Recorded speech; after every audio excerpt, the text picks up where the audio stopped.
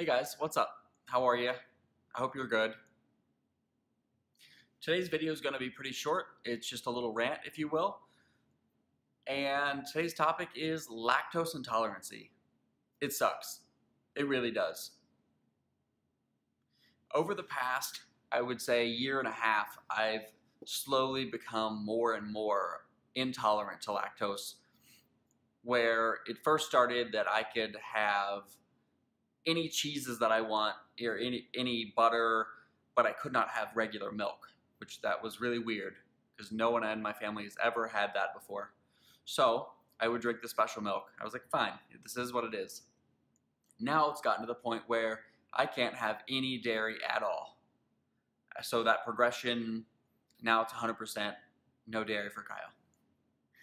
However, within the past you know, eight months or so, I have found a lot of substitutes, more like in the, the vegan aisle of the grocery store. And a lot of the substitutes are pretty good. Some of them are okay, some of them are awful. But you don't know until you try them. So I would say, you know, switching to a, a vegan cheese, like they, they have the cheddar, they have American, they have Swiss. There's literally almost every kind out there now so you can somewhat live a normal life and, and eat your normal foods. Now, obviously, this goes for at home.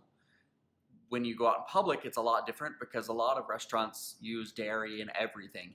So you just have to be really careful and not, you know, make yourself really sick just by not thinking.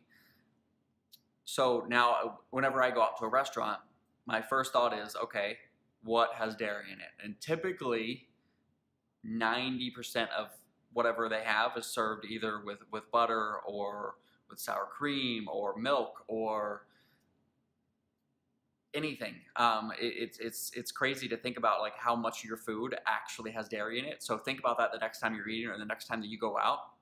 How hard it is for someone who has a lactose intolerance to actually eat out. It it kind of sucks. Um, actually, I, I can't say it kind of sucks. It does suck. It really does. But it's something you, you have to get used to. You really you don't have a choice. I mean, I could always just have a salad because everyone loves salad, right? No, no, salads suck. It's the last thing I want to eat when I'm going to go out with my friends and have a good time. Oh, I'll just eat a salad. Anyway, anyway. So very often, if I'm actually going to go out, like I'll just eat before I go out, and then I'll just get an appetizer of something, um, like fries or chips and dip or something to that effect. And that's pretty much my life.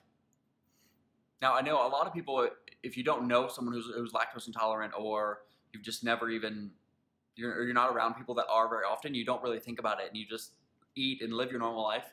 But just think about it the next time you're out. If you had that, like how your life would be different.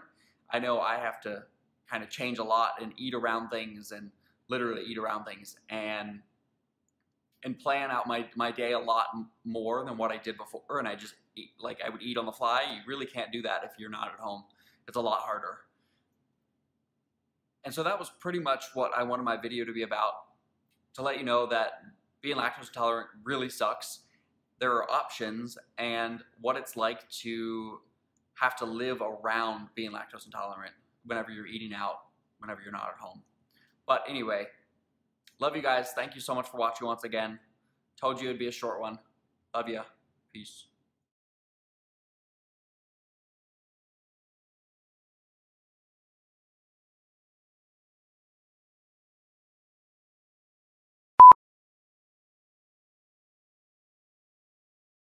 Hey guys, how's it going? How are you? Good. That sounded a lot like Marky Miller.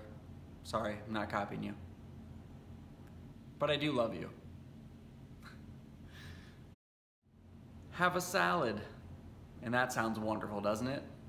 No, it doesn't. No one likes salad.